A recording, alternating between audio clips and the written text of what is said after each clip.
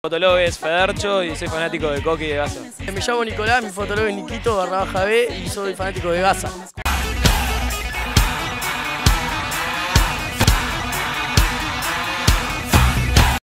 Bienvenidos gente a un nuevo video, yo soy Charlísimo y hoy les traigo una nueva video reacción. Ah, mira. Antes de comenzar este vlog no te olvides de suscribirte al canal y activar la campanita para que YouTube te diga cuando yo esté subiendo un nuevo vlog. Acá arriba mi red de Instagram. Puedes seguirme, ver trailers, adelantos y mucho más. Bueno gente, hoy vamos a ir un poco al pasado. ¿Se acuerdan de los vloggers? Eso que se peinaban al costado, pelo planchado, ropa así media fluorescente y así el pasito mata cucaracha, que era pasar los piecitos de un lado para otro, así pa, pa, pa, pa, pa, con música electrónica. ¿Se acuerdan de los emo? Los góticos rockeros que era yo. Yo era, yo era un emo porque me encantaba el rock, el heavy metal, era Guns N' Roses, Queen, eh, Rejo Chili Pepper, Kiss. Eh, Monty Cruz, toda esa onda, éramos los emo. Pero hoy vamos a ver cómo era ser un flogger en esa época.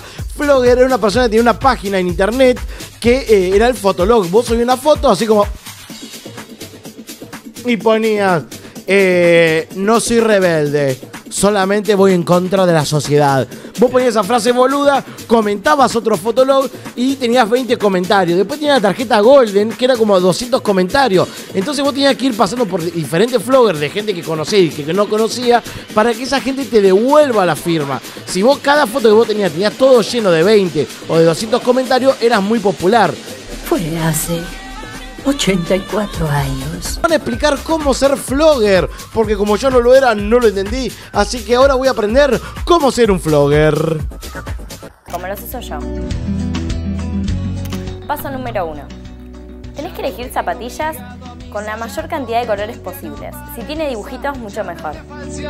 Ah, claro, porque los floggers no usaban la zapatilla ahora, la nueva que tiene colchón de cosas. No, usaban la de lona y es verdad, la mayoría eran blancas y claro, eran combinadas. O sea, la ropa era muy llamativa, era todo muy color fluorescente. Y bueno, acá el primer paso para ser flogger, vos querés. Ahora, vos, vos estás mirando este video y decís, yo era flogger, Charlie.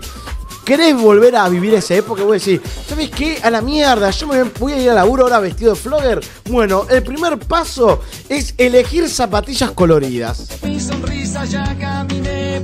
Paso número 2 vas a elegir cordones bien llamativos. Claro, tiene que ser... Bueno, a ver, lo que, lo que acabamos de ver no tiene una mierda de colorido, porque a ver, la zapatilla es blanca, con corazoncito, puntito rojo y le pone cordones rojos. O sea, para mí no es llamativo, para mí es ponerle un rojo y un verde, un violeta fluorescente, cosa que vos vayas caminando y decís, ah, mira qué llamativo. Tienen que ser del tono de la zapatilla y tratar de combinar lo más posible, pero también podés jugar con eso. Por ejemplo, podés poner en una zapatilla un color de cordón y en la otra de otro color. Mirá, y no soy flogger, y lo acabo de decir. Para mí llama más la atención un verde y un fucsia que la zapatilla con punto rojo y el cordón rojo. No tiene gracia. Y más que es blanca, o sea, yo haría lo mismo. y no soy flogger, y no era flogger. En este caso vamos a usar verdes, que pegan con los rayitos. Paso número 3. Bueno, ahí te va a Ahora lo que entiendo es. Eh, porque había un canal para Flogger creado por Flogger que es el que estamos viendo. O sea, este canal lo hicieron chicos Flogger. Ahora, vos sos Flogger, sos de música house, electrónica, onda David Guetta en ese momento cuando apenas estaba saliendo. Y no sé por qué mandaron un rock del cuarteto de Nos de fondo. Vamos a empezar a poner los cordones de esta manera. Primero empezamos poniendo los cordones por los agujeritos de abajo. Igualamos el largo. Vas a dejar tres espacios entre el primero. Pasas el cordón por el agujerito de arriba y lo cruzas hacia el cuarto. Bueno, ¿ves? No sabes atarte los cordones, sos un huevón grande que tu mujer o tu marido te ata la zapatilla, seguile el caso de esta piba que te está indicando cómo atarte los cordones de forma canchera para hacer flogger, bebé. Ahora volvés a hacer lo mismo, pero para abajo.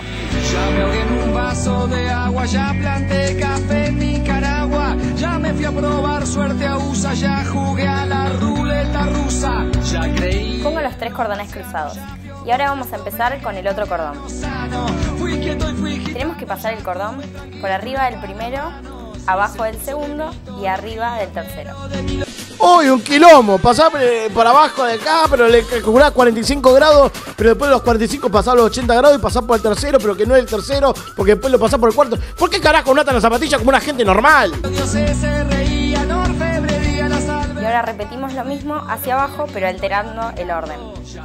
Ahora va a ser primero por abajo, después por arriba, otra vez por abajo.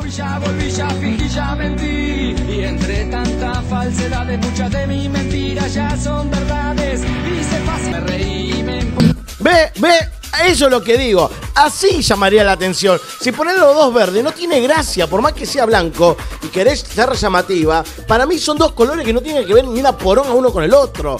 Me gustó. Ahora, tres horas para acusarlo. No era lo mismo atarlo de forma normal. Yo no lo entiendo porque no soy flogger, no era flogger. Para mí lo atan normal, con el pedazo de cordón que parece espagueti casero de los que hace Donato Di Santi Masterchef, porque unos cordones así parece un fideo casero. Lo atás normal, si te van a ver igual, no es que porque lo ates diferente no se va a ver el color. por tu bledo de cosas y Y estos fueron los cuatro pasos para tener las zapatillas como un verdadero flogger. Hola, hola, soy Josefina, mi fotógrafa fascinada. Y ta, llamamos a Gase y a Coqui. ¡Vamos! Hola, me llamo Romina, eh, mi fotólogo es Verga Adicción 1 y bueno, me gusta Coqui. Ay, gente. Llevo, para que tengan una idea, es la cuarta semana que vengo grabando videos. Nunca grabé tanto video, ni en los viajes grabo tanto video. Pero escuchar que ser un flogger es como ser un rockstar, no. No, ni a Duki se lo perdono cuando dice la canción Rockstar cuando sos trapero. El rockero es rockero, no rompa las pelotas. Que son- es como ser un rockstar, pero ¿qué, qué tienen de rockstar? Mi nombre es Valentina, mi fotólogo es Sincronizame y soy eh, fan de Coqui. Bueno, me llamo Federico, mi ¡Ay, los chabones! Ahora me acordé. Se vestían así los chabones. Que eran todos re carilindos. Pelo re largo, onda Bon Jovi. Para mencionar el rock, ya que son rockstar. Eh, ojito facherito y el pelo, pero bien largo y bien. Que yo no sé, no sé cómo carajo no se cagan de calor con tanto pelo los varones. fotólogo es Federcho y soy fanático de Coqui y de Gaza. Me llamo Nicolás, mi fotólogo es Nikito barra baja B y soy fanático de Gaza. De gasa, bueno, la, la única gasa que yo conozco es cuando me, ca- me cago cortando, me lastimo, uso la gasa de la farmacia.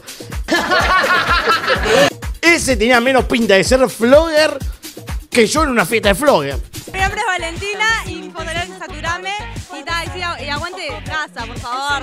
Fotolog es Saturame, claro, porque en esa época eras el nickname. ¿Se acuerdan del nickname? Bueno, la generación, ahora, los pendejos de ahora no saben, pero el nickname era un nombre falso. Vos te llamabas Josefina y te ponía, no sé, mi nombre es eh, eh, La Diabla. Y nadie sabía tu nombre, porque el Fotolog era todo mentira. O sea, había que inventar el, poronga arenosa, el, rompeculo de enano. Yo qué sé, cualquier nombre te ponía y era eso.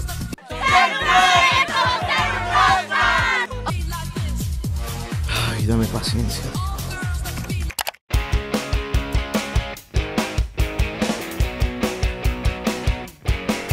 Este es mi fotólogo. Mi fotólogo es Chupin Chupin. Bueno, voy a empezar contándoles por qué le puse el nombre. Y en realidad es muy gracioso. Bueno, acá nos está mostrando cómo era su fotolog. Que era así la paz, cómo extraño el fotolog, la puta madre. Y no era flogger, pero lo re extraño. Era la mejor época, carajo, la mejor época. Que Facebook, Instagram, Instagram, acá. Fotolog era lo mejor, boludo. Era lo mejor que había, amigo. Ahora nos va a contar una historia re graciosa porque su nombre es Chupi Chupín. Todos queremos saber, me supongo, por qué carajo es Chupi Chupín. Bueno, nos va a contar una historia que prepárense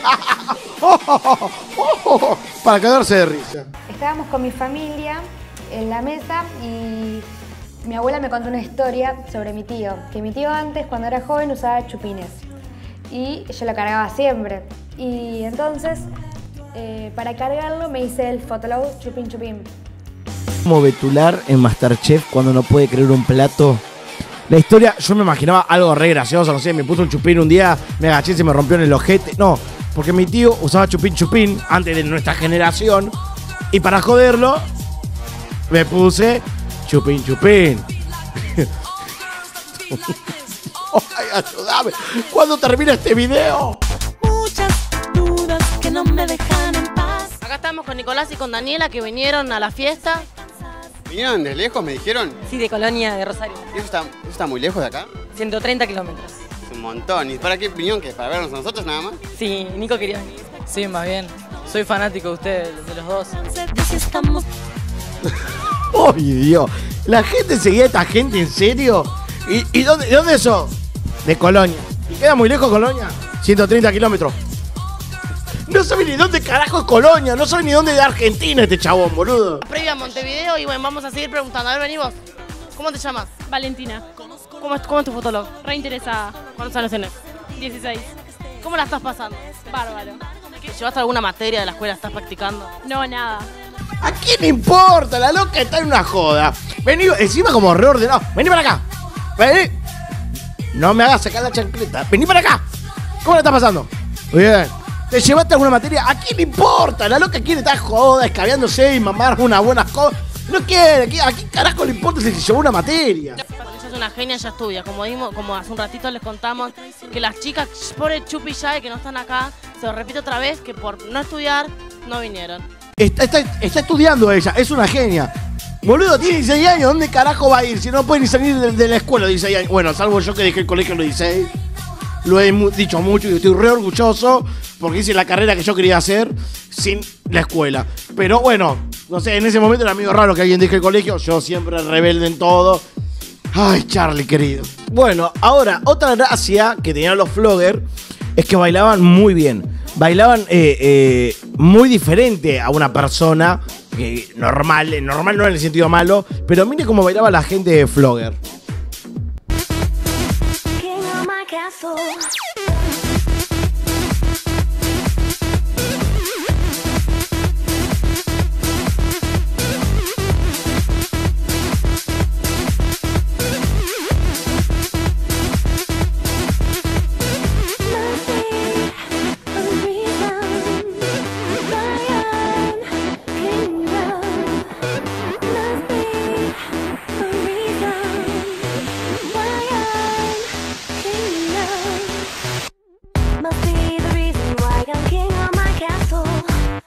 yo pasaba esos temas en la discoteca, en la parte electrónica, era temazo este, pero bueno, así bailaban, y la verdad que era un arte bailar así, era una novedad cuando salió el baile así, porque nadie, nadie lo hacía, no, no era bailar rap, ni hip hop, ni nada, y era, a mí me encantaba, cuando iba, yo iba a Boliche Alén, me acuerdo, era, es muy, era muy popular acá en Cochea, ojalá nunca hubiera muerto Alén, porque pasé las mejores noches ahí, y cuando ponía, yo ponía mi colega anterior, eh, el que estaba como yo, que pasaba música electrónica, después lo suplanté yo me puse a pasar música yo en Alem. Poníamos esta música y se armaba una ronda y vos veías mina y pibe bailando esta música. Y a mí me encantaba porque yo soy de madera para bailar, o sea, tengo que tener chupete para bailar así. Y así tampoco me sale.